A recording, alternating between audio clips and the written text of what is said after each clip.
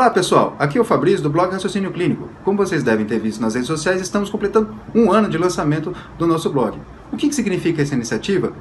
Para mim, essa iniciativa é uma grande oportunidade de estudar bastante, de conversar com o pessoal e de aprender muito sobre esse assunto que eu gosto tanto.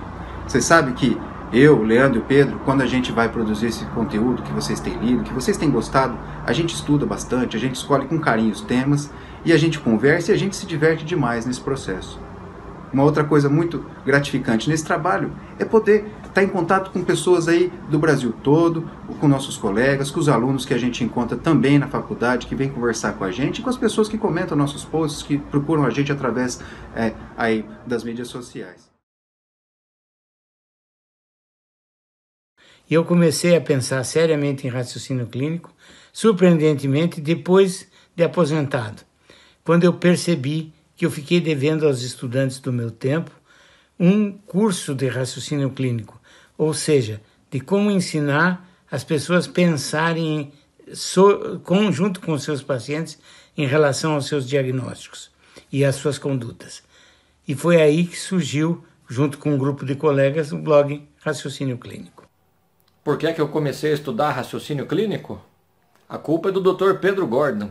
Ele era meu professor na faculdade um dia ele me chamou num canto e falou assim: Gaúcho, vem cá, dá uma olhada naquela paciente lá, aquela gestante com aquela lesão de pele estranha e vê se você descobre o que é que ela tem.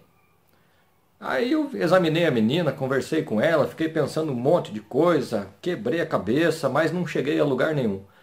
E aí ele falou assim: Mas como? É uma pelagra, tá na cara que é uma pelagra, como que você não viu? E aí eu fiquei pensando: Mas como que ele fez isso? E aí comecei a me interessar pela maneira como os médicos realmente fazem diagnósticos, comecei a ler sobre isso, li o livro do Dr. Groupman, Como os Médicos Pensam, e aí foi uma coisa atrás da outra e não parei mais de ler sobre isso. É, me perguntaram é, por que um blog e não um livro. Bom, quando nós resolvemos fazer o grupo de estudo de raciocínio clínico, é, nós vimos que era necessário publicar alguma coisa e nós decidimos publicar um livro. Mas depois de muita conversa para lá e para cá, nós conseguimos, percebemos que um livro ia ficar é, provavelmente mofando nas bibliotecas das faculdades se fosse comprado por elas.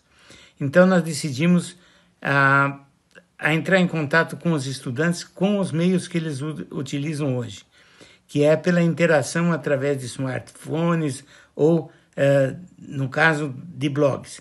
E é assim que surgiu é, a criação do blog Raciocínio Clínico, que foi feito exatamente para atingir é, os estudantes dos primeiros anos de medicina, no sentido de fazê-los aprender a aprender a raciocinar. Por que um blog? Boa pergunta. A gente sempre achou, eu e os meus colegas, que seria muito interessante a gente usar a internet para veicular informações sobre isso, para atingir o maior número possível de pessoas. É blog, porque eu ainda tenho vergonha de virar youtuber de verdade. O certo mesmo seria começar a fazer assim. Fala galera! E aí? Deixa seu joinha aqui embaixo, comenta, compartilha, inscreva-se no nosso canal. Um dia eu chego lá, quem sabe? Então é isso, pessoal. Obrigado por sua audiência. E se você ainda não conhece o blog Raciocínio Clínico, entra lá, checa lá na internet, entra no nosso site, tem o canal do YouTube também e eu tenho certeza que você vai gostar bastante. Fique atento, tem muita novidade por aí e vamos lá, mais um ano de trabalho. Obrigado pessoal, até mais e um abraço.